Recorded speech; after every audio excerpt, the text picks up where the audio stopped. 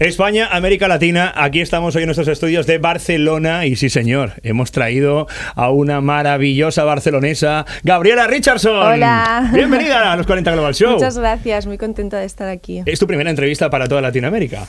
Sí, ¿Eh? la verdad es que sí, sí, sí, no lo había pensado, es la primera. Estoy muy contento de que seamos los primeros tus también, padrinos sí, musicalmente hablando sí. para Sí. América Latina. Me hace ¿Sabes mucha que ilusión. Este show, los 40 Global Show, llevamos eh, cuatro años en antena y en el primer programa, el programa número uno, sonó tu voz. Ah, sí, Sí, con porque 100 en, Miles. Claro, ¿no? en el primer programa de los 40 Global. Show pusimos 100 Miles, la canción de Yal cantada Qué por ti. sí. O sea que tú estás aquí con nosotros desde el primer Sí, momento, sí. desde el minuto uno, hija. La verdad es que fue muy bien con 100 Miles y ahora, y ahora estamos con Crime, que ya me han dicho que te ha gustado mucho. Me ha He visto que has encantado. compartido, Sí. que lo has compartido en tus redes y me Y hizo mucha ilusión. ya, y lo habéis aquí. puesto Mm. también, también lo escuché.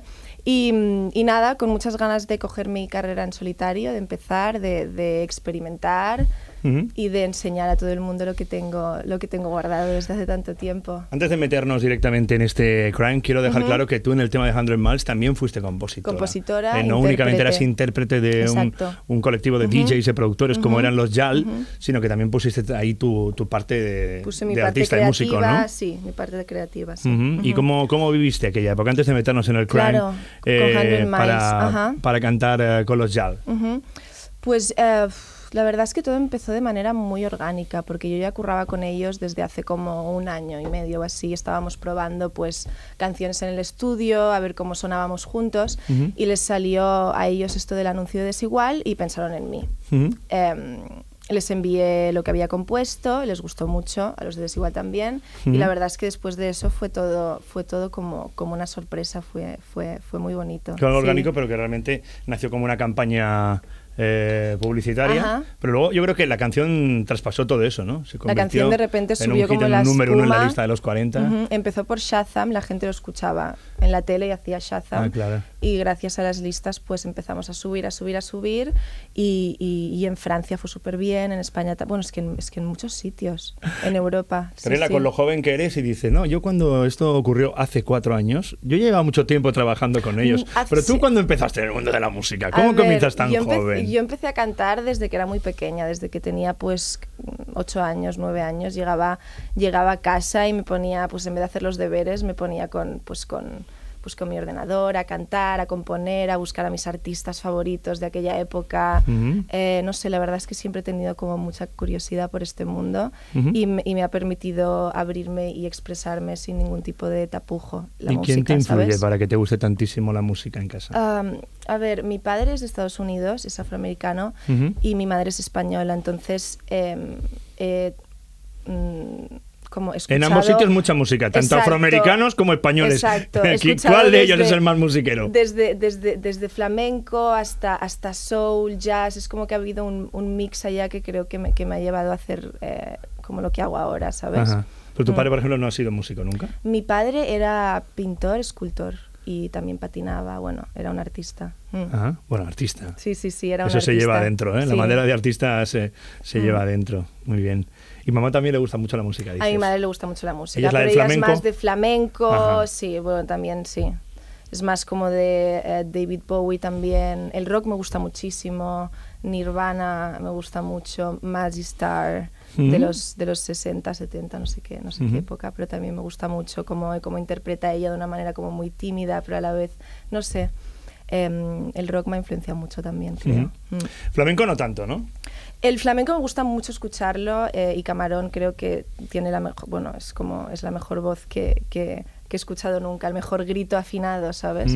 Que creo que se parece un poco em, al de Kurt Cobain también, creo que tienen como, como, como una energía un poco parecida, ¿no? Cuando las cosas Cuando salen de gritan, dentro, ¿sabes? cuando, Cuando salen muy, muy de dentro, aquí, exacto. sí, sí, sí. Eso es cuando Mm. las cosas son naturales y salen de dentro y tienen tanta raíz, Exacto. porque desde luego nuestra música con más raíz en España, desde luego es, es el flamenco. el flamenco, duda. el sufrimiento y Mm. todo esto. Oye. ¿cómo estás viviendo ahora tu paisana Rosalía, por ejemplo? Ahora Pues muy que ha hecho esa mezcla de- del trap y el flamenco, aunque ella siempre dice que yo no hago flamenco, Ya. que no me liéis a mí con... Pero, con- pero Pues ¿cómo la has verdad es que me hace mucha eso? ilusión que ¿La alguien... conoces a ella? Eh, sí, la he conocido alguna vez, sí. Em, pues es muy guay que alguien de nuestro país pueda, pueda traspasar tantas fronteras con el flamenco, ¿sabes? Y que, y, que, y que gente como James Blake, que es como el padre de la electrónica, haya querido como estar con ella y colaborar con ella, no sé, me parece, me parece algo mágico. Ujú. Mm. ¿Te gustaría dentro de muy poquito poder tener esa oportunidad, ¿no? Hombre, claro que sí, claro de que traspasar sí. con tu música. Claro que sí, me haría mucha ilusión. Pues desde luego Mm. suenas muy internacional. Gabriela, tienes muchos números para conseguirlo. Sí, porque lo estoy haciendo en inglés, pero ahora la verdad he estado en el estudio estos días y estoy probando, estoy probando mezclar inglés, español un poco. Voy a, voy a, voy a tocar español, me parece ¿Ah, sí? también. Sí, estoy probando a ver qué tal. Pero de momento parece que suena bien. Bueno, estamos deseando poder escuchar eso, ¿eh? A ver si pronto Mm. tenemos la, la- la primicia aquí en los 40 Global Show de escuchar a Gabriela Richardson también en, en español, Claro. en nuestro idioma. Pero ahora hablemos de Crime, Hablemos de Crime. del single que estamos Ujú. ahora escuchando tantísimo aquí y que has grabado además junto al gran al crack Alice. Con Alice, Que verdad, es sí. un tío Es increíble, brutal. es brutal y además como persona es, es, es que es increíble. él, Está sí. haciendo cosas muy interesantes, ¿sabes? Que acaba de lanzar su propio sello. eh, Wow- Wow Music, Music, sí, sí. Eh, Mm. Y acaba de, de fichar a nuevos artistas y demás. Bueno, Con pues todos conocemos. Paula, sí, con Paula y con Jessie. Paula es buenísimo Mm. también, ¿no? Eh, y, y como te decía, todos conocéis en Latinoamérica sus producciones para Z Tangana, por ejemplo, y también, bueno, pues Rosalía también está ahí de, de segundo término. Pero cuéntame tú exactamente con Alice cómo ha sido tu trabajo ¿Cómo como productor para este Crime. Sí. Pues eh, Crime la verdad es que lo compuse hace un año en mi casa y luego me fui a Estocolmo a acabar de perfilar un poco, un poco todo y luego llamamos a Liz para que lo produjera y la verdad es que desde el primer momento supo, supo encontrar el sonido que estábamos buscando, ¿sabes? Porque es como un pop melancólico a la vez, que se puede bailar, pero tanto los acordes como la letra es un poco triste, ¿no? Porque estoy hablando de, de un crimen, que es un engaño amoroso. Entonces creo que tiene esta mezcla que, que- me define bastante. Mm. ¿Cuándo compusiste esta canción? Pues hace como una- un, un año así, un día que estaba en mi casa así un poco como, como triste y dije, va, voy a, voy a, voy a ponerme a escribir. ¿Qué tenías mal de amores? Pues puede ser, porque la canción, porque la canción habla de mal de amores, pero Sí. con fuerza a la vez, ¿sabes? No Sí. es un mal de amores que te quedas, es un mal de amores que dices, oye, Pero paso página pero qué- y qué- continúo. Qué bien vienen los mal de amores para comprar grandes canciones. Verdad, es ¿eh? lo mejor, es ¿Qué lo sería mejor. de la historia del pop y de la música en general si no hubiera habido tantos mal de amores para hacer grandes canciones? ¿no? Totalmente. El otro día eh, hablaba con, con una artista chilena que es, que es maravillosa y, y me decía: A mí lo que más me gusta es cuando me, me rompen el corazón, me quedo con el pijama tres días. Sí, ¿eh? y Tres días en la cama y no hago nada más que comer helado y ponerme a Madre componer mía, canciones. sí, Dice: No sí. hago otra cosa.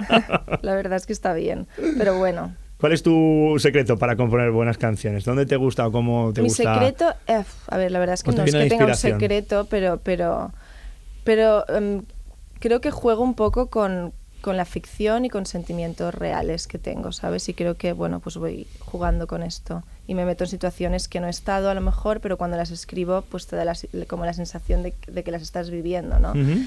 Em, y también hay veces que, o sea, muchas de las canciones de amor han estado compuestas por gente que nunca ha estado enamorada, ¿sabes? Y creo que esto es lo bonito, ¿no? De la música y de la que, de, pues, o sea, de escribir y de la creatividad que te pones en, en sitios que no, que no estarías, ¿no? Qué guay, qué guay.